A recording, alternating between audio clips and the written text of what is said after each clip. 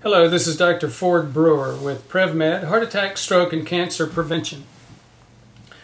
Uh, why worry about a cure and whether it's going to work when you can prevent it? Uh, today we're doing part three in a series of testing uh, on, for inflammation.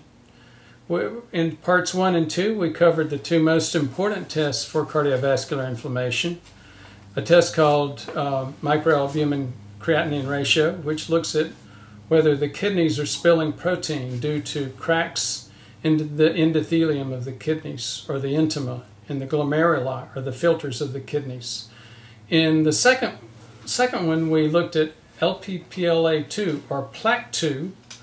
Um, it's an enzyme that's very active in terms of pulling in, uh, signaling immune system cells to come in, T cells and macrophages and then activating those cells to start digesting uh, plaque.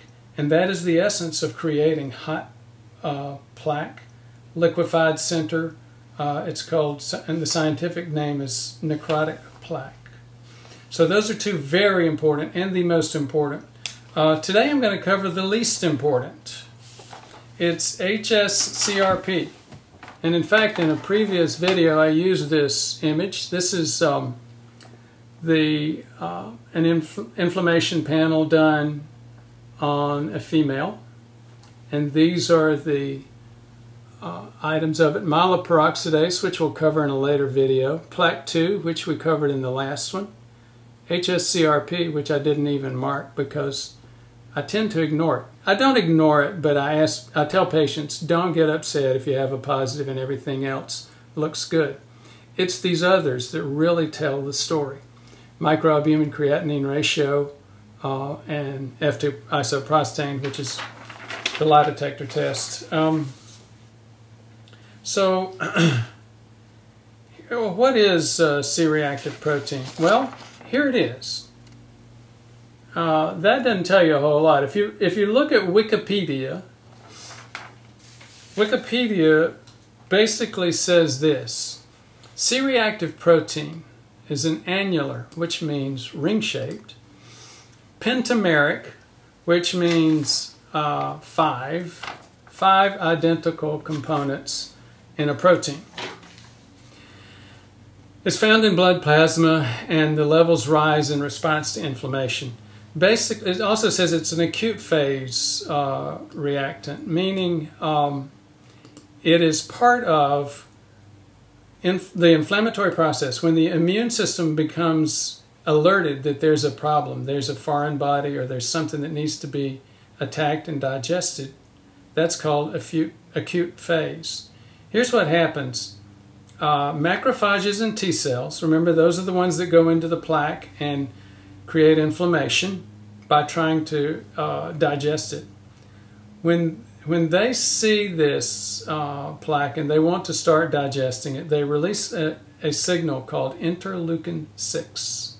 That's also an inflammatory marker. We did, uh, again, um, the Bale-Doneen method, they don't tend to track that. And if you look at it in research, there's good reasons for it. It's not that reliable. Uh, so, once the macrophages and T cells release this um, interleukin 6. It goes to the liver. The liver uh, then releases C reactive protein. And in the, this is another, um, another version of the Cleveland Heart Labs inflammation panel. That's mine, as you can tell. Um, and it's called HSCRP. HS basically just stands for high sensitivity, high sensitivity C-reactive protein. Um, now again, so why are we looking at that? Why is it part of the panel? Uh, why do I tend to not pay much attention to it? Well, it, as you know, there are very few docs in the medical community that know, even know or watch for signs of um, inflammation, cardiovascular inflammation. They just look at tend to look at LDL, which is not a, a strong sign. Of those few docs that do tend to look for inflammation, the one thing they do tend to know to look for is HSCRP, their C-reactive protein. However, C-reactive protein is not the greatest, and here's why.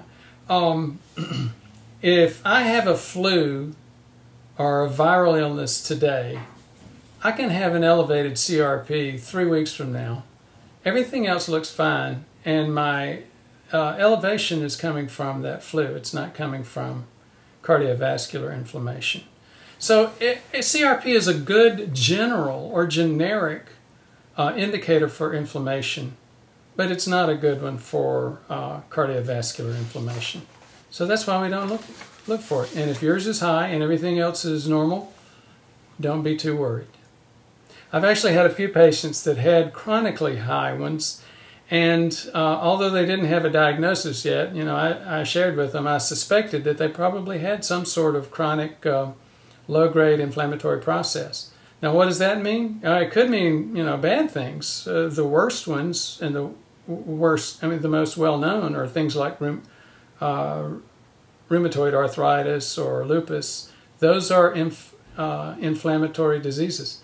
Also, ulcerative colitis and Crohn's diseases, Crohn's disease are inflammatory diseases. But again, these patients didn't have any of that, but they, for decades, had had a chronically low HSC, I mean, chronically elevated HSCRP. Those patients still are not sick yet, though.